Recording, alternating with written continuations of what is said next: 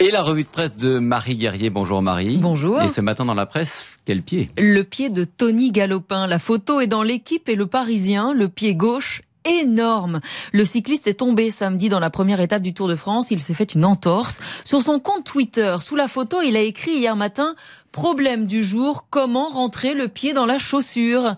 À force de massage de l'équipe médicale, il y est parvenu. Sur la ligne de départ, Tony Galopin lâche Je vais essayer de survivre moralement. C'est un gros coup sur la tête. Le médecin cité par le Parisien explique qu'une entorse, le plus dur, eh bien, c'est marcher, pas de pédaler, parce que pour pédaler, il n'y a pas besoin de mouvements latéraux. Certes, mais la journée fut douloureuse. Au final, hier soir à Liège, Galopin termine 177e à 2 minutes 49 du vainqueur du jour. Une grimace, une claudication, une ultime montée compliquée dans le bus pour rentrer à l'hôtel. Tony Galopin visait une victoire d'étape aujourd'hui à Longwy, dans la côte des religieuses. Il peut faire une croix dessus. Dans vos journaux ce matin, bien sûr, le président Macron, le jour de son discours solennel à Versailles. Emmanuel Macron devenu Grou, comme dans le prochain film d'animation Moi moche et méchant qui sort cette semaine. C'est un dessin signé CAC à la une de l'opinion. Grou Macron domine une ribambelle de mignons, vous savez, les petits mhm. personnages jaunes, comme une ribambelle de députés. À ses côtés, son bras droit, un scientifique un peu fou qui lui dit à force, le pays va être dirigé par des inconnus. Macron Grou, l'air sinistre et autoritaire, répond comme ça, on sait qui commande. La journaliste de l'opinion, Nathalie Segonne, décrit Emmanuel Macron comme attaché à restaurer l'autorité présidentielle. Aujourd'hui, le chef de l'État présentera les grandes orientations, tandis que demain, le Premier ministre détaillera dans son discours de politique générale leur mise en œuvre. L'objectif étant que les deux discours apparaissent comme complémentaires et non redondants. La séquence, aussi solennelle soit-elle, peut toutefois décevoir et tomber à plat, peut-on lire dans l'opinion. Le duo exécutif en est conscient, d'autant que l'un et l'autre ne sont pas des orateurs exceptionnels, souligne un ministre proche du président. À la une de Libération, Manu Peter à Versailles. Emmanuel Macron apparaît torse nu, brandissant la foudre, tel Jupiter nimbé de nuages. Le président s'exprime par le truchement d'oracles lapidaires et d'apparitions merveilleuses, écrit Laurent Geoffrin dans son édito. Ainsi construit-il par touche le mythe d'un nouveau sauveur, terrassant la crise. Vieille figure française incarnée par Bonaparte, Thiers ou De Gaulle. Guillaume Tabar dans le Figaro estime que le quinquennat commence véritablement aujourd'hui avec le discours devant le Congrès. On sera d'autant plus attentif aux mots du président qu'ils ont été jusqu'à présent finalement rares. Partout depuis deux mois, on ne voit que Macron. Ce qui a frappé pour l'instant, ce sont les images. Cela plaît, mais cela commence à susciter quelques commentaires agacés. Avec ce discours, dit Guillaume Tabar, le poids des mots va remplacer le choc des photos. On connaît ce slogan.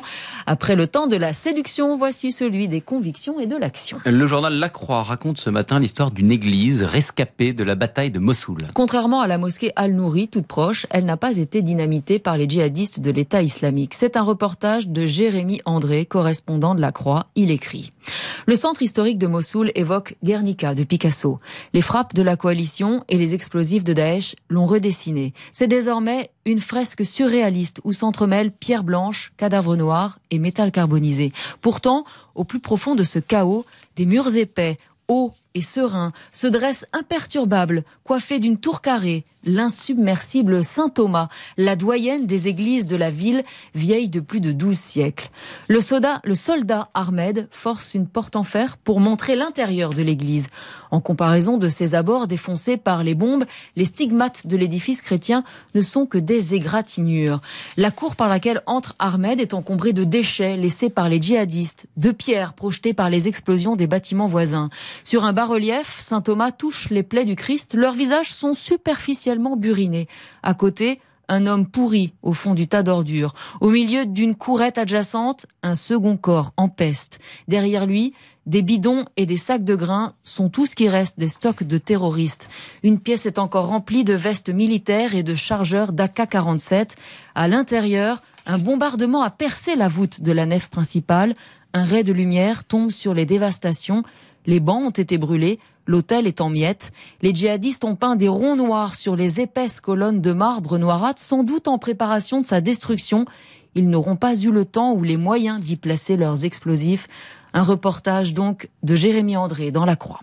Tout autre chose, un peu de douceur maintenant. Ça sent la blédine ce matin. Oui, nous sommes à Villefranche-sur-Saône. Le journal Le Progrès nous fait visiter l'usine Blédina. Vous savez, hein, les produits mhm. alimentaires pour bébés, céréales, lait, bouillie.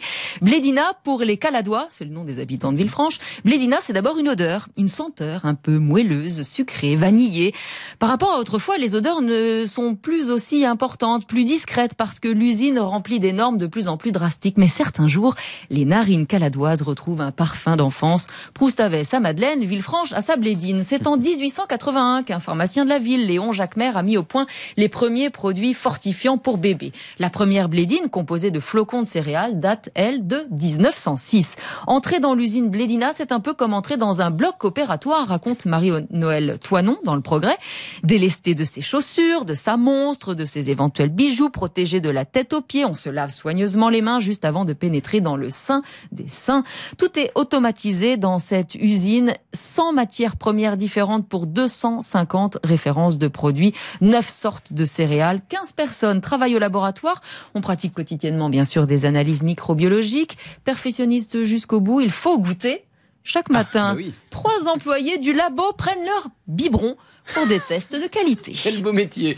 Marie Guerrier, je mettrais bien un peu de café dans mon biberon moi ce matin.